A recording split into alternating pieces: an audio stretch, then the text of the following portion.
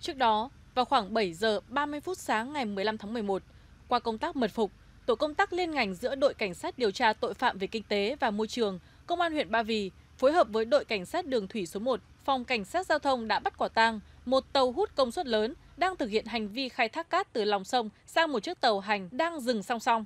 Tại thời điểm kiểm tra, đã có hơn 180 mét khối cát được hút trong khoang tàu. Cả 7 người trên hai tàu đã được đưa về cơ quan công an để làm rõ. Tại đây, các đối tượng khai nhận hành vi vi phạm của mình. Thực tế hiện nay, lợi dụng địa bàn giáp danh giữa huyện Ba Vì và Phú Thọ nên một số đối tượng thường tranh thủ khai thác trái phép. Đây cũng là những khó khăn trong công tác kiểm tra xử lý của lực lượng chức năng. Trong thời gian tới, Công an thành phố sẽ tăng cường triển khai đấu tranh, ngăn chặn vi phạm khai thác cát tại khu vực giáp danh giữa Hà Nội và các tỉnh để đảm bảo trật tự an toàn giao thông đường thủy.